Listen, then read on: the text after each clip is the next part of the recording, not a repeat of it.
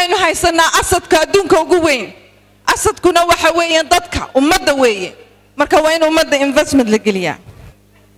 Waxa aan doonayaa inaanu xisbiga iyo iyo hoggaanka iyo muxuuha madaxweynaha iyo madaxweyne ku-xigeenka inta noqonaysaba aanu uga digo in dadka qabyaalad lagu soo xareeyo in dadka la kala qaybiyo in dadka muxuu ahaayey nin jeclaysi jirto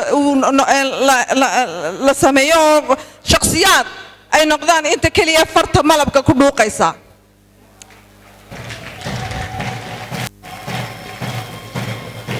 Waxaa muhiim ah ummaddeennu isku mid baynu nahay meel keliyaynu ka soo wada jeednaa somalilan la yidhaahdo.